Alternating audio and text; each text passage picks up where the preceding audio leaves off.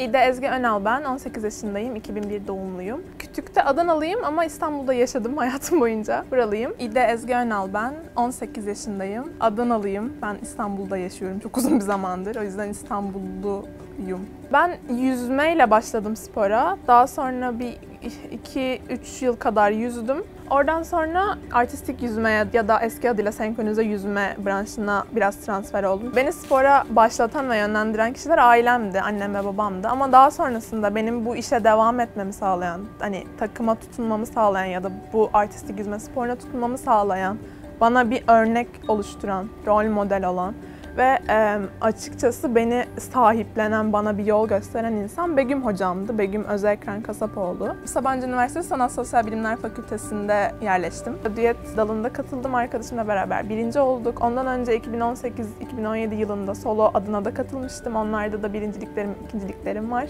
2017 ve 2018-2019'da da Türkiye şampiyonalarında birinci oldum. Ben okuyabildiğim kadar okumak istiyorum. Yani yüksek lisans olur, doktora olur. Daha sonrasında hani staj için başka yerlere giderim. Moleküler biyoloji ve genetik alanında yani bir doktora yapmak isterim açıkçası. Çünkü ben e, lisede de zaten IB programın, IB diploma programına yani o programı okudum, bitirdim. Orada da sürekli olarak bu dersleri ağırlıklı olarak alıyordum.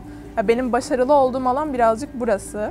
Bir ilaç firmasında işe girmek isterim, laboratuvarda çalışmak isterim. O, o ortamı seviyorum çünkü. Yani orada olmayı seviyorum, o aletlerle oynamayı, kurcalamayı seviyorum, deney yapmayı seviyorum. Bu alanda ilerlemek istiyorum.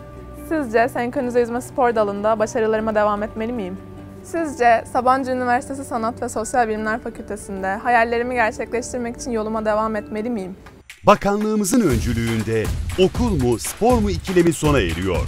Milli sporcular kampüslerde yüksek öğrenimle tanışıyor.